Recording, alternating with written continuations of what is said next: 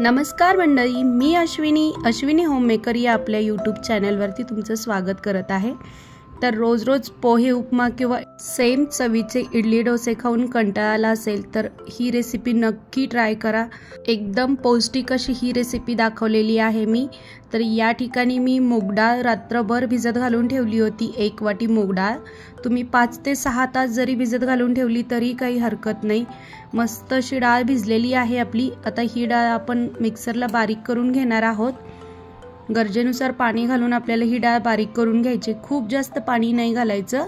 कमी पाणी घालायचं. लागेल तेवढंच पाणी घालायचं आहे आता आपण यामध्ये आलं घालायचं आहे थोडंसं आणि हिरवी मिरची घालते दोन ते तीन. तुम्ही तुमच्या गरजेनुसार हिरवी मिरची घालू शकता कमी जास्त. ते मी तीन ते चार चमचे दही घालते. ऑप्शनल आहे दही. असेल तर घाला. नाही घातलं तरी चालेल. मस्त असं थोडंसं पाणी घालून आपल्याला ह्याची बारीक पेस्ट करून घ्यायची अशा पद्धतीने. जसं आपण डोस्यांसाठी बॅटर बनवतो तसंच आपल्याला हे बनवायचं आहे मस्त असं बघा तुम्ही आपलं बॅटर तयार झालेलं आहे. यामध्ये चवीनुसार मीठ घालायचं आता आपल्याला. आणि छान असं मिक्स करून घ्यायचं आहे हे. इथे आपण कुठलाही इनो किंवा सोड्याचा वापर न करता डोसे बनवणार आहोत. खूप छान डोसे होतात. गॅसवरती तवा ठेवलाय. तेल घालायचंय थोडंसं. मस्त असं तवा गरम झाला की की आवडीनुसार उताप्पे करून घ्यायचे. जर तुम्हाला डोसे बनवायचे असेल तुम्ही डोसेही बनवू शकता. इथे मी छोटे छोटे उताप्पे बनवते. बघा अशा पद्धतीने आपल्याला उताप्पा बनवून घ्यायचा आहे खूप मस्त हे उत्ताप्पे लागतात खायला आणि शिवाय पचायला हलके आणि पौष्टिक असे हे आपले मूगडाळीचे उताप्पे तयार होतात.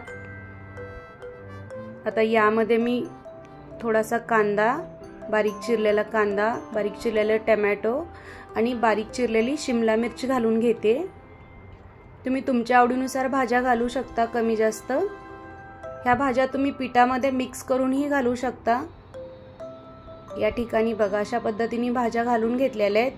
आणि अर्धा ते एक मिनिट आपल्याला हे झाकून घ्यायचं आहे नाही झाकलं तरीही चालेल पण खालून पटकन आपला हा उत्तप्पा निघतो.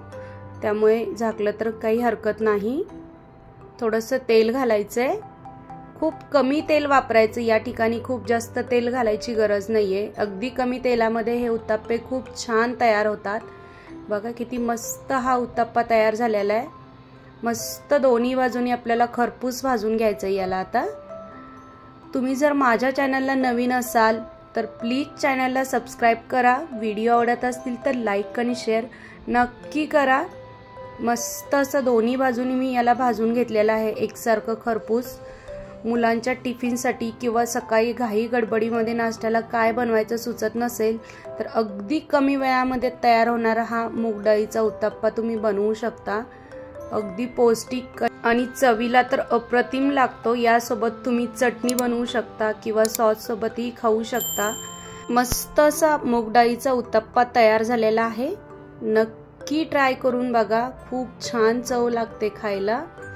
व्हिडिओ पाहिल्याबद्दल धन्यवाद.